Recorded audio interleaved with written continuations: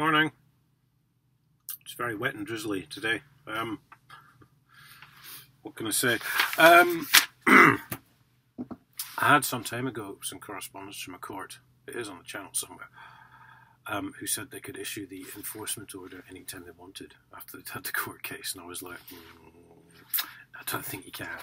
Um, but then, of course, CDER um, wrote to me Sorry, I, I, I looked up CDER's website after they'd, they'd visited, after he posted his um, enforcement notice. Um, so I looked up their website and it said magistrates' orders last forever, basically. So I thought, right, hang on, let me get this right. Um, because as far as I was aware, the law hadn't changed. Um, and it still had, you still only have a year to enforce a magistrate's court order. So I got this from nationaldebtline.org. So you can basically look up how long can you enforce a magistrate's court order for. Nationaldebtline.org came up. Uh, they have 12 months, and this is talking about bailiffs now. They have 12 months from the date of the enforcement notice to take control of your goods. Um, now, it, it, it, it, seems like a fairly sort of comprehensive site. It's quite well written, so I, I, I don't doubt most of what's in there. Um, but yes, it, there you go. Um, so then I figured out what the courts are doing, of course. Um, they're, they're, giving it to a bailiff firm, let's say Marston's. Um, Marston's have three attempts. Or in Chris Green's case, who worked for Marston's, I think he had 17 attempts back in the day.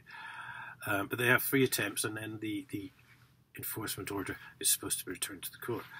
And then what they're doing is they're letting it sit for a while, then they're getting another bailiffs firm in and going, here, enforce this.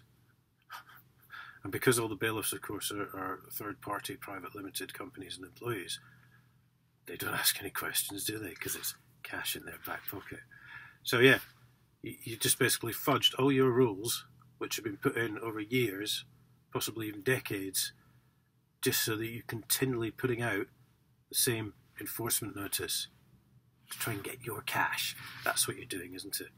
Um, so I hope that's clear. The courts can't be trusted. It's no wonder the British judiciary system's a laughing stock, is it? Uh, right. PCSO Jessica Hustle, Greater Manchester, gross misconduct, jailed for 19 months. Oh, also PCSO Thomas Fendall. He was jailed for 16 months, same offence. PC Joshua Savage, Metropolitan Police, charged with assault proceeding. This is, oh, we're flying into 2017. There's not many more, there's only about six or seven left now, I think. So, well, as you can see, we're in 2017.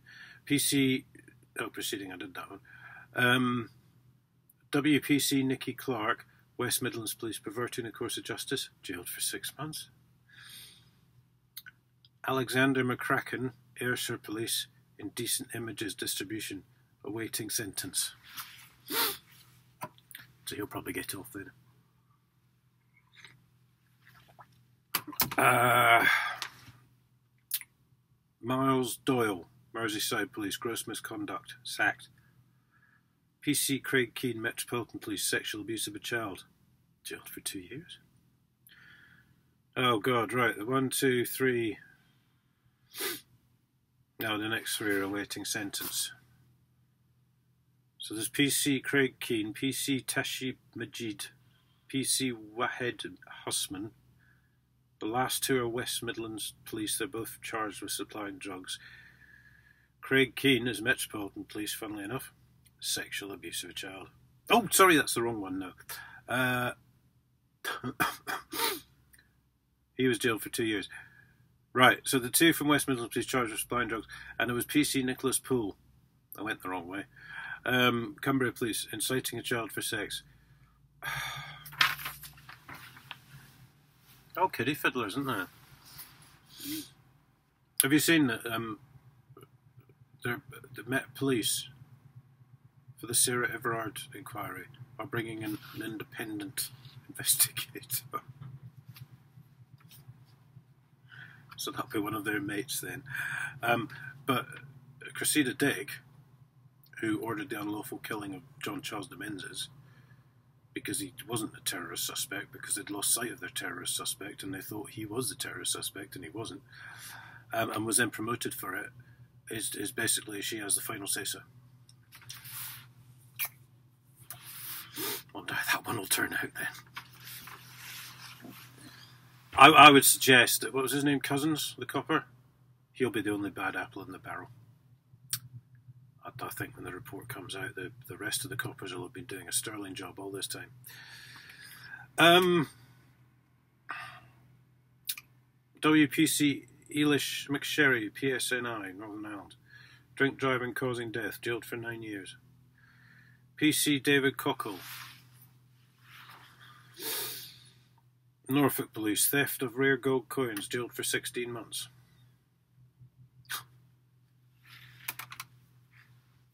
Well, from the evidence room, I presume. Unless he actually went to a museum and stole them. Don't know about that. Uh, Manpreet Shergill, Metropolitan Police charged with fraud proceeding. Simon McGing, North Wales Police fraud, 15 months suspended. Judge Alan Hampshire, oh, Judge Nottingham, forged a will, jailed for six months. Well, I would never say that all the judges are bent, but certainly all the ones I've dealt with are. So, yeah. I'm surprised. I think that's the first judge we've ever had. I'm not sure. I don't. Maybe they don't normally come under this. I don't know. Uh, PC Daniel Moss, Sussex Police, worked as a prostitute, sacked. Oh, we had those those two last time, didn't we? One one had had sex with a prostitute, and I think the other one had phoned a prostitute or something. They were both sacked, I think. Uh, WPC Charlotte Piers, Metropolitan Police, had sex with rape victim.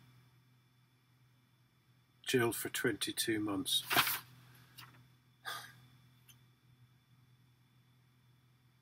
What can you say? How how would anyone not even no, not even coppers would have. Well, maybe it is specialist to coppers. I don't know. How? I'd, I'd, wow. Uh, PC Julian Broddle, South Yorkshire Police, took cocaine, sacked. Well, you must have been unlucky, mate, because from what I've heard, quite a lot of coppers take cocaine.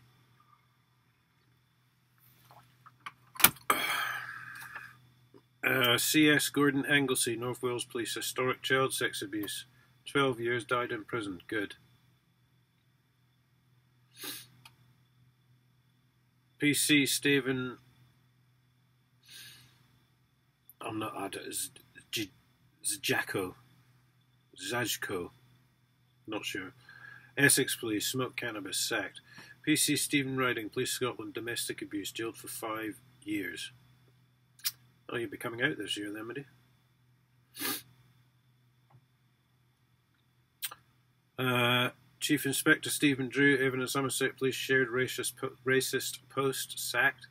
A police officer, Essex Police, gross misconduct, sacked. God, the list is absolutely endless, isn't it?